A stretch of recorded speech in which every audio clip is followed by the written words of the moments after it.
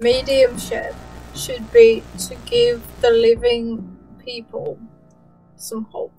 Mediumship should be something empowering for both the living and the dead.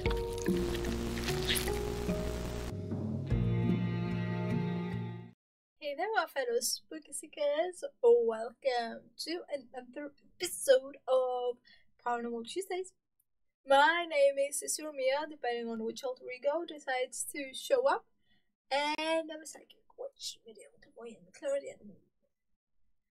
Basically a jack of all trades when it comes to the paranormal. Like who needs a Ghostbuster when you got me, right?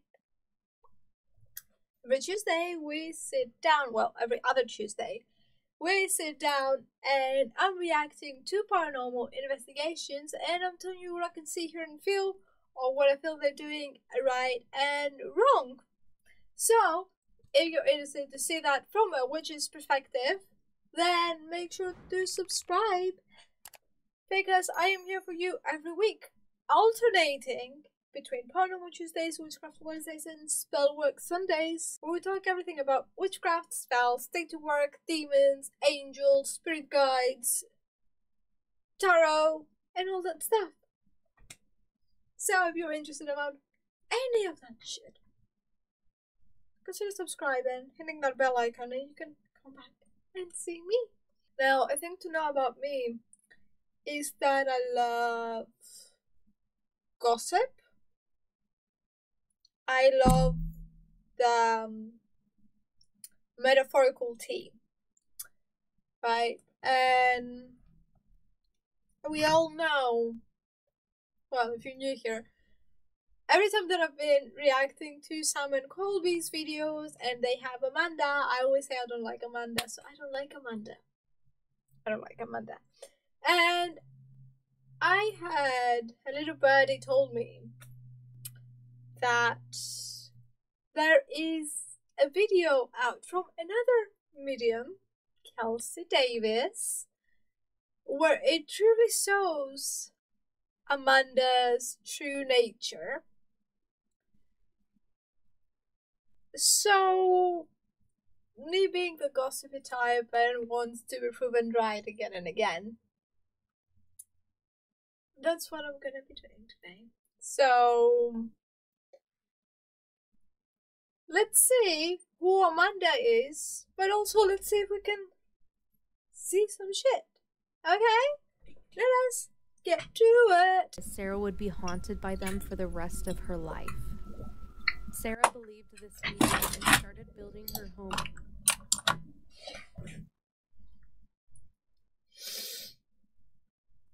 Okay, look.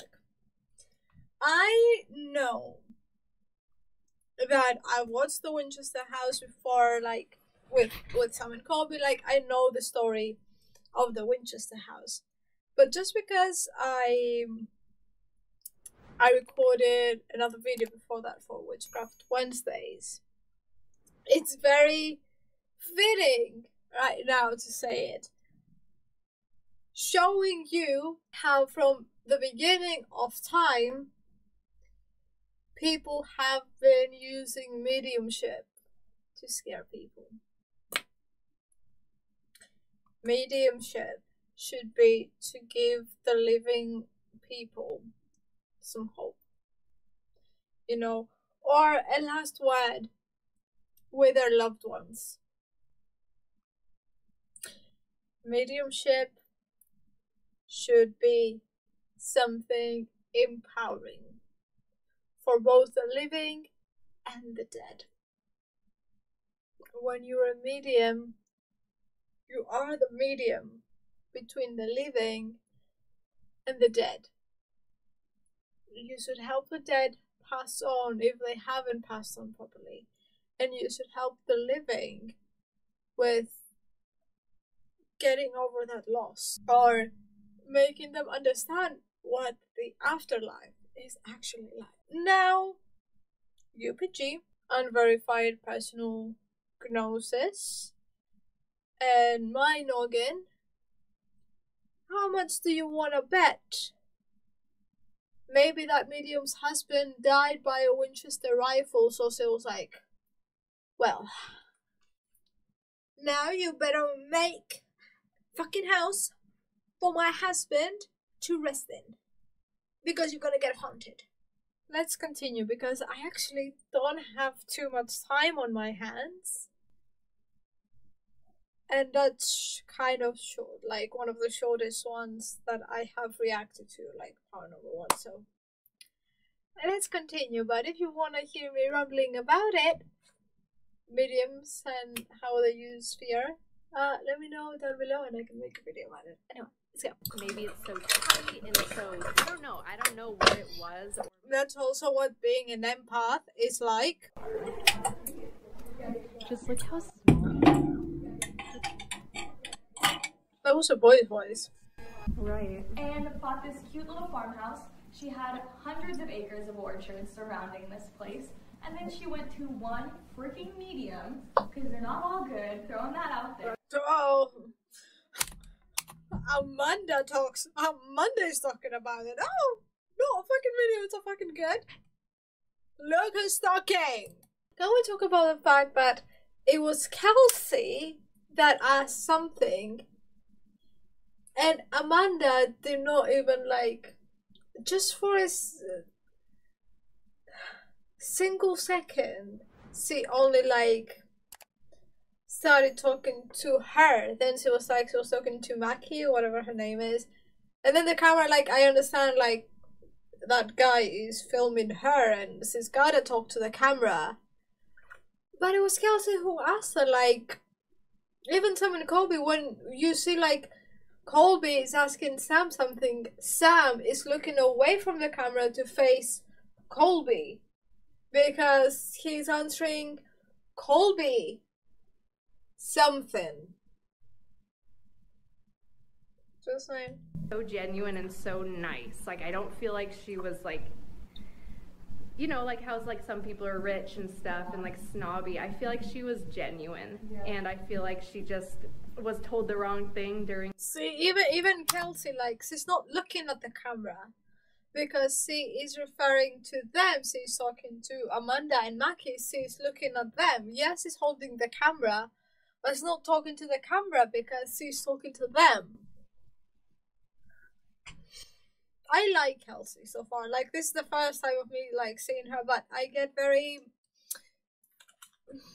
I get very childlike vibe from her. I get a very nice vibe.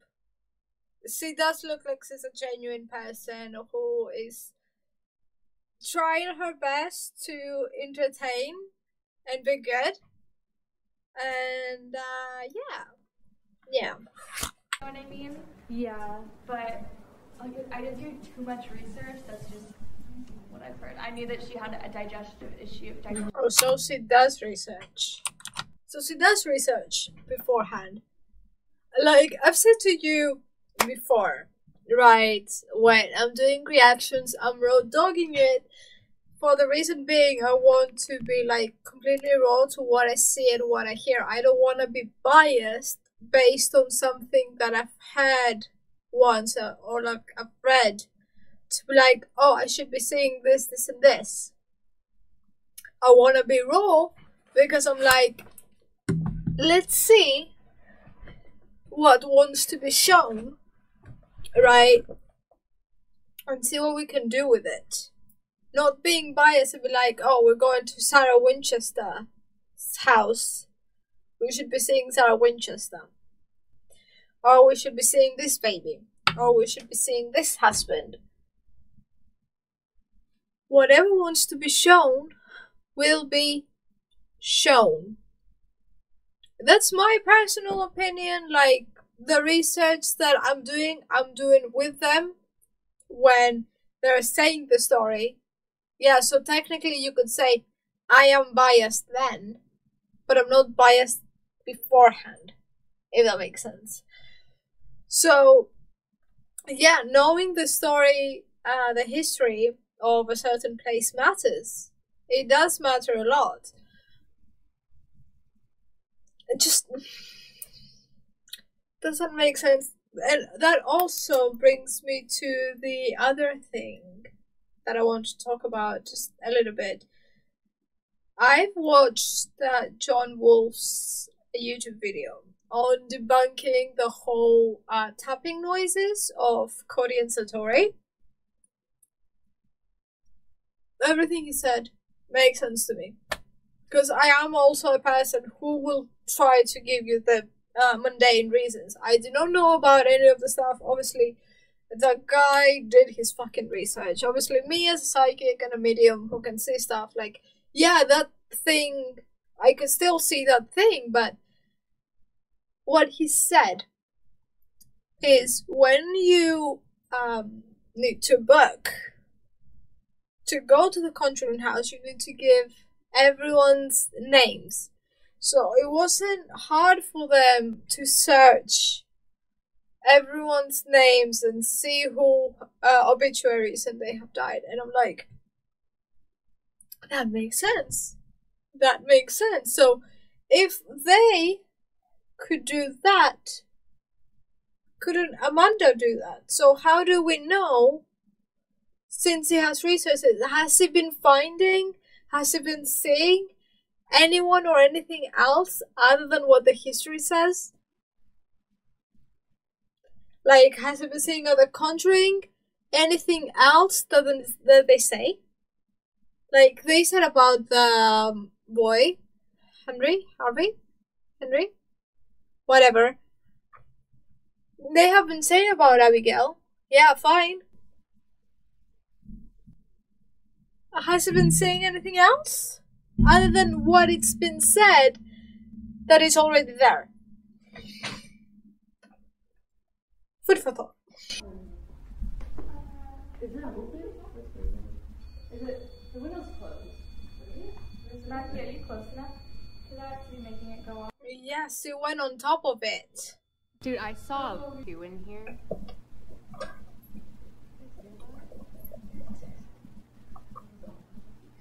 Yeah. I was just gonna say it just got so cold right here. It got so cold behind Yeah, us. yeah. Like, I feel maybe two people in here. I want to know whose leg that was I saw, because that was very clear. Like, it was like a leg. Like, I saw the shoe, the pant, but I didn't see anything else but it was their um, right leg, like, specifically. And was it like dangling off the bed or just standing? Did it touch the floor or not? It was touching the floor. Wasn't Sarah. Oh. No, it was, it was like, it wasn't like a woman leg. Like, it was a small, short leg. Like, it looked like a little boy leg. Did you see something over there, Mark? Yeah, I did too. Wait. Wait. Wait. In the back there. Wasn't that exactly where I saw Sarah? Um, passing with the Sam and Colby thingy? Was it like that room? Because they're in Sarah's room. Wasn't it like. Was it at the exact same place? I'll put. Um, I'll find it and I'll put the clip here. Flashback. If this is really you, can you give us some kind of sign or a sound? She just walked from from there. So it's just got her like hands just like I do, like right now. So it was just like that, and uh, yeah, kind of. Um, and she just she just walked there, and like looking again at Selena. She's very intrigued by Selena somewhere. I think it was. It's like a lot of you see things out of the corner of your eyes here. Like that's especially how it was on the tour when I wasn't sitting down, like trying to connect. She looks very uncomfortable. I'm Kelsi. I'm Brandon. It's nice to meet you guys. Um, I feel three spirits, two men, one woman.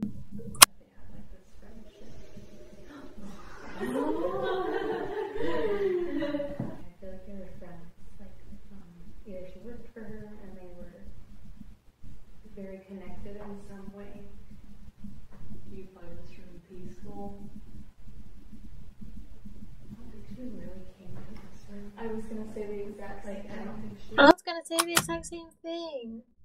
She always waits for someone to say something like, yeah, I was gonna say the same thing. Shut the fuck up.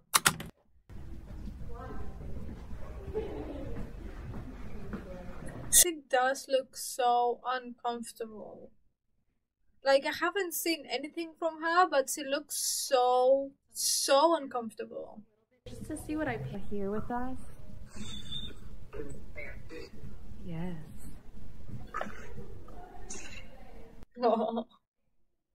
yeah, I don't get bad vibes from the Winchester house. there were three things in it. So it was Sarah, da- Sarah daughter.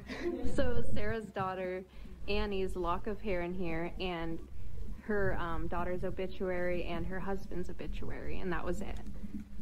So like this woman with like a lot of money, super rich. That's those were her three most prized possessions. We're gonna set up the REM pod and see if any. Which is sad.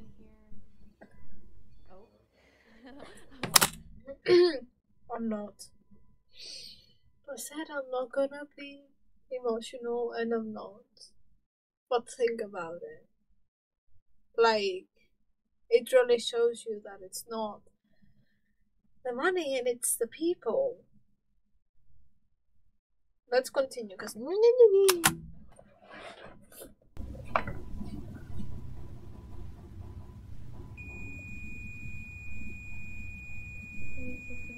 was weird because in my I was just gonna ask if you could do that. Nah, nah, nah. Okay. Um. Obviously, it was too short. Um. I couldn't see much, and I found a few things, but the point mostly for that. let's talk about. Like I said, I don't have too much time, but let's talk from an empath's perspective because that was more me understanding Amanda and see how she is. Let's talk from an empath's perspective. I felt so, so, so bad for Kelsi. Because obviously, like I said, I don't know her, I don't know what is up, but from what I felt, she seemed to me every time I was like looking at her, it was like that tightness in the chest where you like you know you're about to cry but you know you're like in a public setting and you're just like trying to keep it in so you're just like taking the deep breaths and there's just like that's what I felt her being like. Um, also, her talking to them reminded me of every time that I've been upset with someone, like let's say in my family, right? I've been upset with someone, but because we have like a social gathering or because I just don't want to create more shit, I've been saying stuff, I've been um, just trying to engage for the sake of being civil. I don't want to talk to them. I don't want to be near them. Uh, But I want to be fucking civil. So maybe I'll joke around. That's what I felt. Uh, from her the whole time. I felt her being uncomfortable. You could also see it in her eyes, not just from an empath's perspective. You could see it in her eyes. She was uncomfortable. I think um Amanda and Mackie they're like always together and stuff. So I understand them being together doing the intro, outro and stuff. But you've gone in as a group. Kelsi was involving you in everything. But you didn't involve Kelsi in stuff. The only time we saw Kelsi by herself is because they had left her and she was like, Well, I'm all alone, so let me just be by myself and talk to the camera.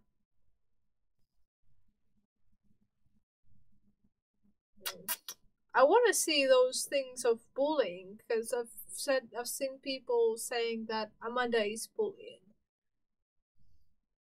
and I'm not surprised. I don't get good vibes from Amanda. I've said it from the first fucking time. I don't get good vibes from her. From Kelsi, oh my god. That's the only thing I've, I've seen so far. But like I said, I get childlike um energy. I get very pure energy. Um, a person who is trying to help, who is trying to entertain, who is like, you know how the middle child is said to be like the joker of the family, I think that's the kind of thing I'm getting from her, like middle child energy.